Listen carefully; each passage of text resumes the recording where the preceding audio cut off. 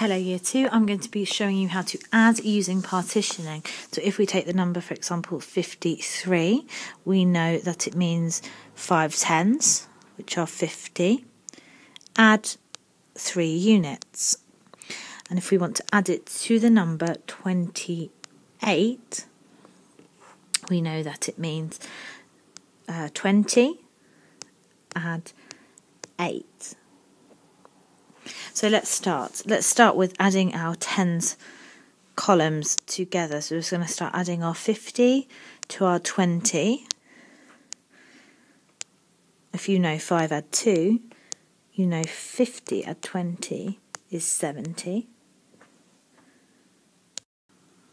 And then you continue adding 3, add 8 from the units column, which you write below which you know equals 11.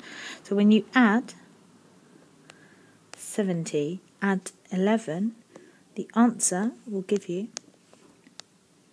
81.